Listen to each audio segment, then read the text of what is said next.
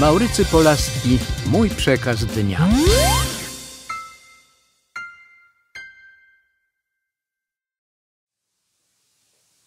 Dzień dobry kochanemu Państwu.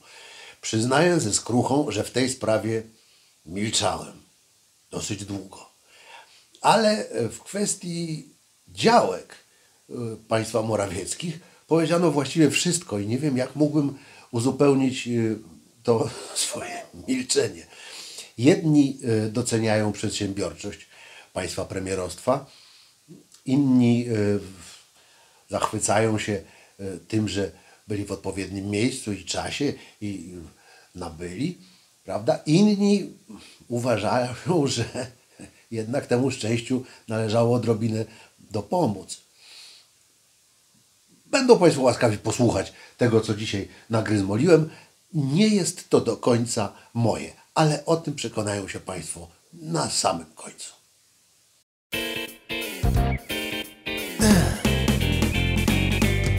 Przyznam Państwu, że dostaję tony memów i dowcipów rysunkowych całą masę. Jedne mało śmieszne, nie wiadomo czemu. Lecz zdarzają także się genialne czasem. Ja odrzucam te, co walą z grubej rury.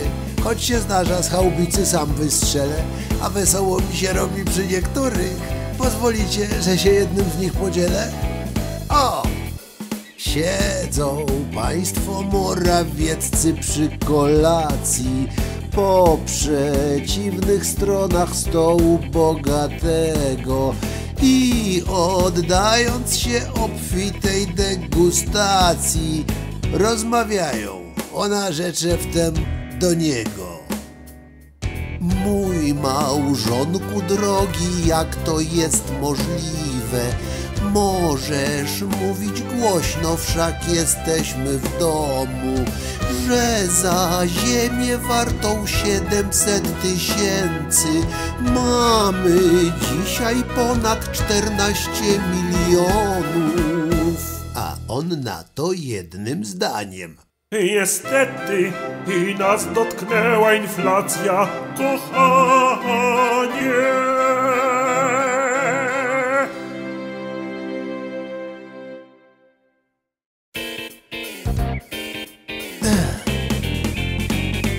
I jak oni teraz bidoki będą spędzać w czasy na działce?